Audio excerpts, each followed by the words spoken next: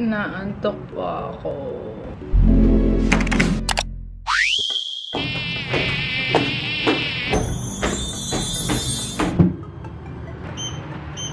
Work, work, work!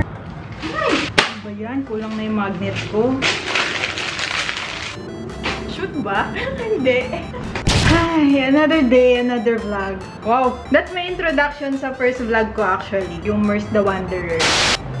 Napagutusan lang naman ako bumili ng flowers and chocolate. Yan. Pinayos ko lang kasi baka pagdating doon sa pagbibigyan. Kaya mamayang gabi i-set ko. Ah, sige, oh.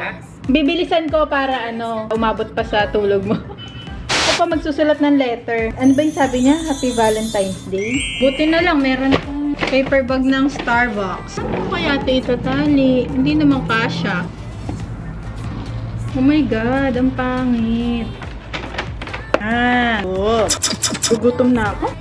Chicken nuggets. Ay, ba yan? Hi! What a weekend! Leftover na rice kahapon. Tsaka, tsaka yung nuggets, lagyan natin ng yabu sauce. Tapos kimchi. Egg na lang. Ayos pa ba to? Kahapon lang naman to. Eh di wow. Tapos itong sauce, yabu sauce. Pero parang maganda to, ihiwalay ko na lang. Wow. Tatry ko sana mag-chopstick eh, kaso wag na nga lang. Yehey! Ang hindi lang leftover dito yung itlog, tsaka yung nuggets para.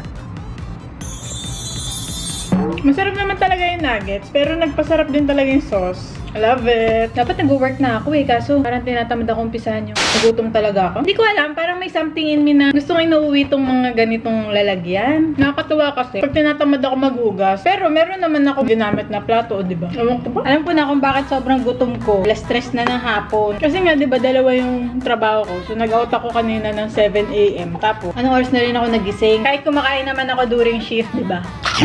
Ano ba? Sarap. So satisfying. Food is life talaga. Food is life. Kanina kasi, yung friend ko na nasa ibang bansa, nagpasuyo sa akin na bilan ko daw ng flowers yung girlfriend niya. Which is friend ko rin naman. Nuna ko yun actually, bago ako kumain. Share lang. Tapos itong rice na to, galing naman to sa La Creperie. La Creperie ba yun? La Creperie. Hindi na rin ako nagsaing. Mm. Pwede ko na ito tapon. O may pwede pa ba akong paglagyan? Ay, hindi. Pwede ko ito ipalit dun sa lalagyan ko ng ano. Okay, work, work, work! Ayan, gusto ko naman ng kape o kaya milk tea. Pero syempre, di tayo gagastos. Di ba? Gagawa tayo.